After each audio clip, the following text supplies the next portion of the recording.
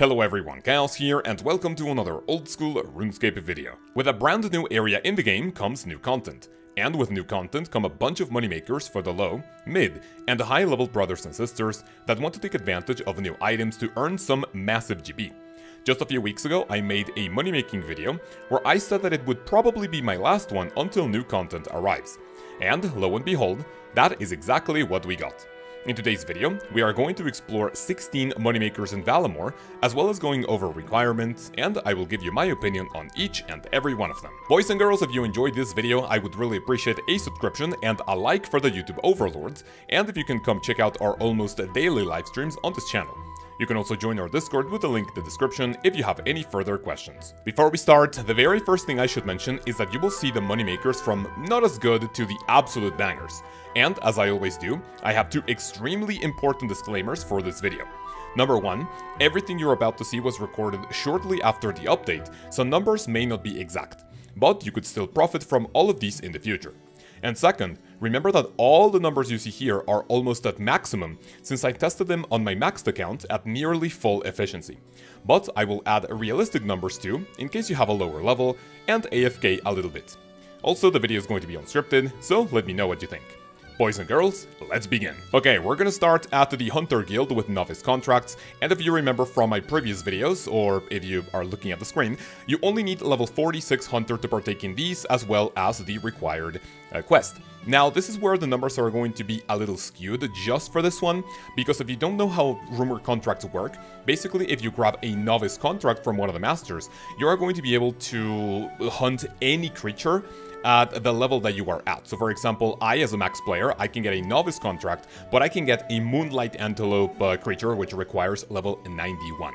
Because of this, I'm going to have slightly lower GP per hour and of course XP, because at level 46, you are not going to be making 75k experience per hour or getting it, uh, but the loot that you get from this really is not that good. After I opened all of my uh, novice loot pouches, I was greeted with just about 32k, and actually what I got from the creatures themselves was a little bit higher at the 40k for the fur and 20k for the meat. So in total, 92k GP, we're not starting great, but trust me, these are only going to get a these are only going to get better, and uh, yeah, if you are a low-level hunter, this is a perfect way to start your training journey. And speaking of low level as well as AFK, we are going to start by thieving houses. Now, the one thing you need for these are the keys that you steal from the wealthy citizens in the bazaar, and this is especially useful if you are pickpocketing some from them if a kid is distracting them. We're going to be mentioning these a little bit later because it is better GP per hour, but once you get your hand on your hands on one of these keys or multiple of them,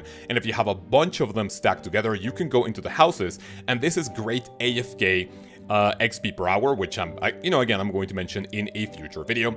However, when you grab the valuables and when you're done looting all of the houses, when you're done with your keys, and you sell them to the shady figure near the bazaar, I got 60 to 70 kgp per hour on average, and that is basically because I have the higher, uh, like, valuable loot that I unlocked by getting higher glory in the Colosseum.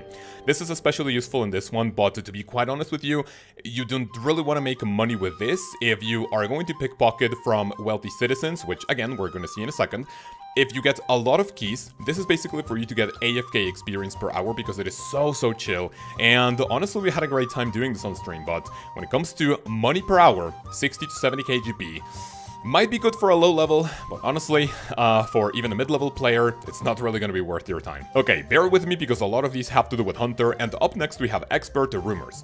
Now, at the beginning of the video when I said that a couple of these numbers are going to be slightly skewed, this is probably the worst case of all of them, and it's because I was stuck in a Saber-Tooth Kebbit contract for about 30 minutes. I don't really want to show you the audio for this recording, and as you can see, I am, you know, you're seeing this on screen because a lot of tears were shed and I was coping like there was no tomorrow. Because of that, I was not really able to do a lot of them, but when I opened them, it actually gave me decent loot for the, you know, a terrible amount that I was able to do in that one hour, landing me 170k loot from the contract reward itself, and uh, 40k for the fur, as well as 20k for the meat. Remember to always, always, always take your meat pouch and your fur pouch It literally takes just one click to get your extra stuff, and even if you sell it for a lot lower in the Grand Exchange, it is going to be 100% profit, because for some of these, all you need are logs, and you can even chop them in the area that you're, you know, training Hunter. So even if it's 10, 20, 30 KGP, if you are 60, 70 Hunter, that could potentially add up, you know, in order for you to get your next upgrade or something. So definitely, this one doesn't really seem like it's too high, but even if I was not able to, ma to make many of these contracts, the GP per hour was not really that bad. So do these at your own risk, and Jagex please update the, de the deadfall traps, please make them instants and let us catch multiple Kebbit at once. For those of you who have a slightly higher level in thieving, I recommend the pickpocketing from wealthy citizens, both when distracted by the kids as well as just hanging out on their own. This is going to be 100% profit as well, and I was wearing my Rogue's outfit, which doubles all of the loot that you get, including all of the keys. So this is going to be absolutely massive if you want some AFK thieving experience, as I said before. The more keys you have, the more AFK time you're able to get, and it is absolutely massive.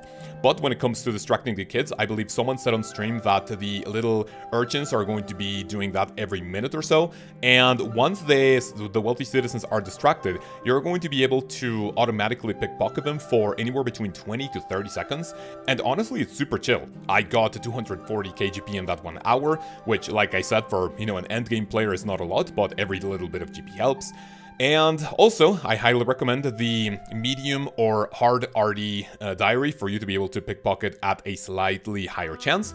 And if you don't have a 100% success rate, then you can use other things like I said in my thieving guide, like the dodgy necklace, uh, shadow veil, and you have a lot of options to make this a lot better and to land you a little bit of GP per hour for your pocket. We're finally jumping into something that involves combat, and we are going to camp Sulfur Naguas at the Neypotzli dungeon, hopefully I'm pronouncing that correctly, or I didn't even say it correctly in my uh, Perilous Moons guide video. But the important part about this, which I will mention in my in one of my future videos, which is all about all of the training methods, is that this is 100% free. You don't need combat potions, you don't need prayer potions, you don't need food. You don't even need food because you're basically praying against all the damage. Because if you prepare your potions inside the dungeon, it is going to be 100% free, and all you need to do is go to the little prison area with the Sulfur Naguas, and turn Auto Retaliate on, grab whatever weapon you want, and then grab as much of their loot as possible. I was lucky enough to get one of the uniques, which are called the Sulfur, sulfur Blades, I believe, sorry for the uh, brain fart, uh, but even without that, I was netting about 260 KGP per hour. And to be quite honest, it is a great place to, you know, it's basically a budget nightmare zone, but you could potentially get a little bit of money from it. This is 100% free training. I cannot stress this enough. This is absolutely massive. So if you're looking for just a little bit of profit and some AFK combat training, this is a great place to start. Going back to Hunter for this one, we will focus on Adept Rumors. Going to the Hunter Guild, this one was a lot better than the Expert ones that I was coping about for about 2 minutes in the last one, uh, but after doing all of these, I got about 430 KGP, 350 of it being from the loot that you get from the sacks themselves, as well as 64k from the fur and 18k from the meat. Like I said before, you want those pouches at all times because it is going to be 100% profit. The important part about this that I haven't mentioned is that from opening all of these, you have different amounts of percentage chance of getting the hunter outfit as well as that Quetzal pet that I really really want and hopefully I will get my hands on one day.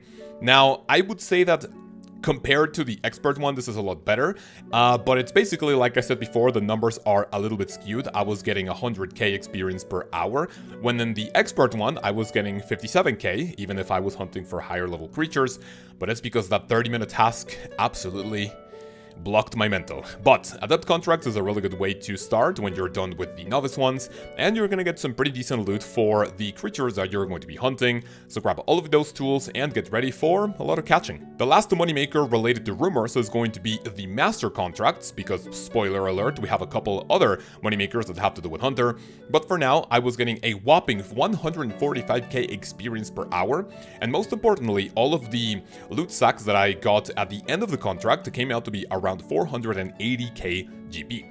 Remember, this is all maximum. I was hunting with the best of teleports. I, you know, was basically click intensive for the entire hour. So, you know, I would say a minimum of about 300k if you're just about level 91 hunter, because you might potentially fail a couple of these. 400k from the loot and 72k from all of the things that I got from the antelopes. I believe I got both the sunlight and the moonlight antelopes, which I grabbed everything, put it in my bank, and uh, grabbed it to the price check.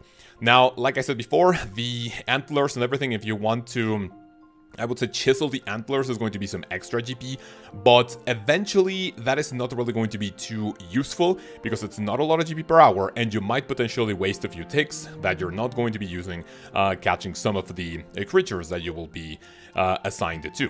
So Master Contracts was a lot better than some of the previous ones, but not better than what's coming next. So, you can catch Moonlight Moths in the basement of the Hunter Guild, and if you go to the store northeast of the guild, you're going to be able to buy butterfly jars for 1 GP each meaning that if you have the level required to catch Moonlight Moths. For some odd reason, I was able to sell these for a grand total of 480 KGP per hour.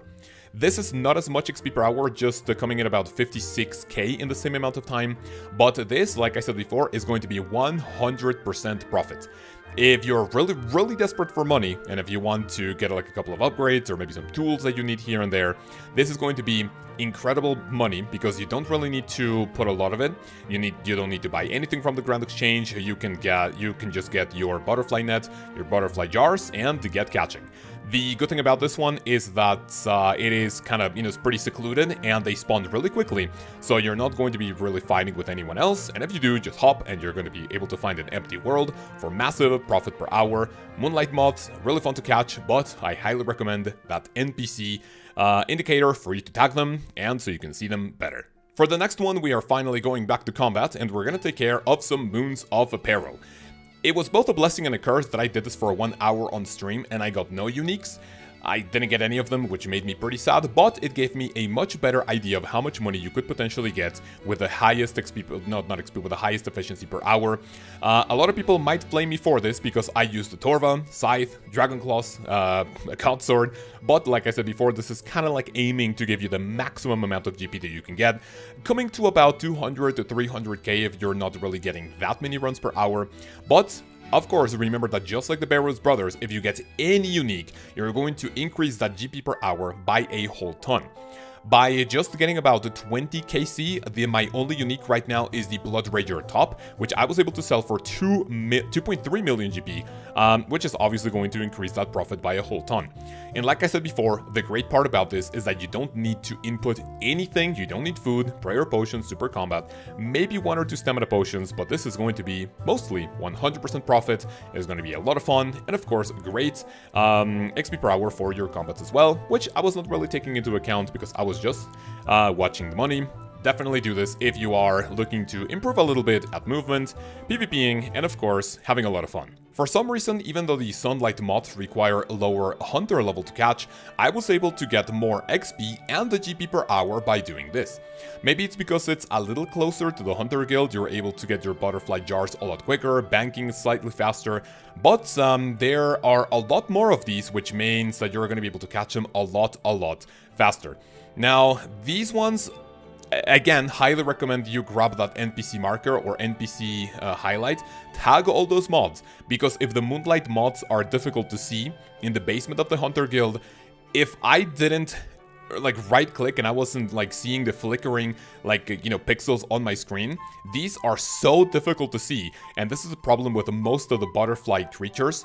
They like twitch around too much and you know for someone like me who has really poor vision you're not really going to be able to see them too well so make sure to tag all of them and click on the boxes whenever they're available and again this is going to be a 100% profit for you to you know take advantage as you know as much as possible. Okay for this next one technically we have a two-in-one because I decided to test both the sunlight and the moonlight antelope meat by buying raw food from the Grand Exchange and then cooking them and then selling them to see how much profit I was able to make. If you don't have 99 cooking, uh, and if you don't have your cooking cape so you don't burn any food, remember to grab your cooking gauntlets and go to either the Hosidius kitchen, or if you want to go to the Myths Guild in order to make as many of them as possible, and of course burn as few of them as possible. Now, by cooking and selling Sunlight Antelope meat, I was able to get 350 KGP per hour, and uh, the experience is actually really nice, but where this method shines is the raw Moonlight Antelope. People are going to be, uh, you know, know, kind of looking for that to 26 healing, even if it's, you know, divided and, you know, first you get a couple of HP and then the rest. Uh, this is basically the new best in slot food. you know, calling it best in slot, but it's not really a slot you are this is basically going to be high in demand because you know the sweaties are going to uh, want the highest uh, survivability chance by getting the best food possible. And the moonlight antelope meat was uh, netting me 800 kgp per hour. And each of these give you 220 experience meaning that they're in par with the uh, what do you call it, the anglers, which is about 300 or, you know, slightly above 300k experience per hour. So if you're a cooking master, definitely get these because it is great GP per hour for not many clicks in that time. Getting into the top 3, we have a suggestion by someone in my Discord by the name Ultoman, and he told me that if you make meat pouches Basically make the small meat pouch, the big meat pouch, and then you alch them. You are going to get some decent profit. Lo and behold, this is actually true. Not that I didn't believe him, but I still needed to test it to see how much money I was able to make. The good thing about this, number one, if you're an Ironman, this is going to be pretty decent. It's going to take slightly slightly longer in order for you to get all of the supplies needed to make all of these pouches. But if you are a main account, if you have access to the Grand Exchange, go buy Fox Fur and Sunlight Fur, Sunlight Antelope Fur, because if you make all of these, first of all, you're going to get a little bit of crafting experience. And when you high alch each and every one of these, you're going to get 4,500 GP.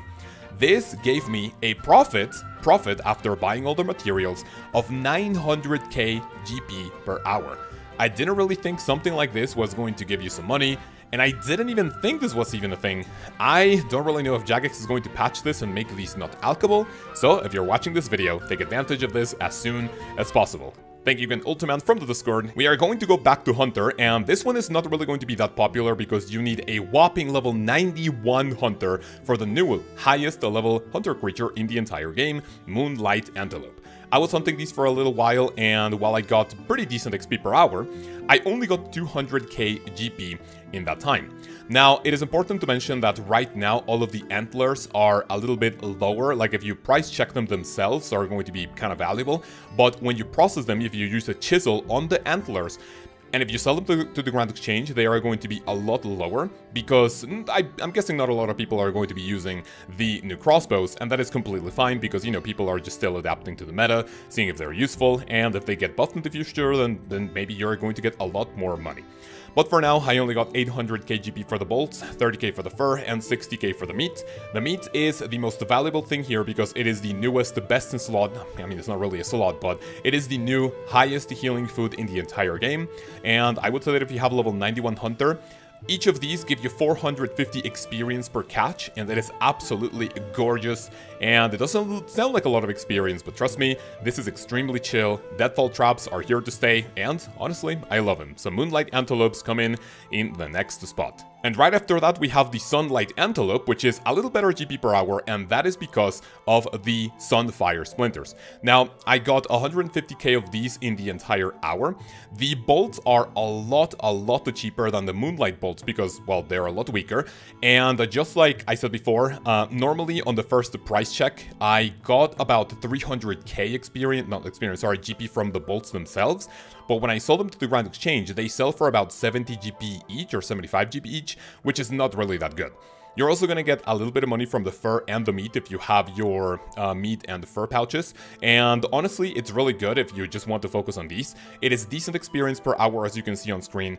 But what you want from these catches are going to be the Sunfire Splinters because they are the hottest item right now because everyone wants to charge their quiver to the maximum and they are going to stay expensive for a little while.